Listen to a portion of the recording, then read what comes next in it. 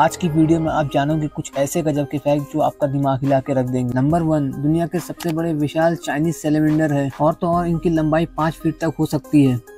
आपको जानकर हैरानी होगी, इन जाइंट सेलेमेंडर का उपयोग इन्हीं लोग दवाई बनाने में करते हैं। यही नहीं, इनके फार्म हाउस भी बड़े पैमाने पर खोले जा रहे हैं, ताकि ज़्यादा से ज़्यादा मात्रा में इनका उत्पादन किया जा सके। फैक्ट नंबर टू क्या आपको पता है आइसक्रीम खाने से सर्दी या जुकाम नहीं होता?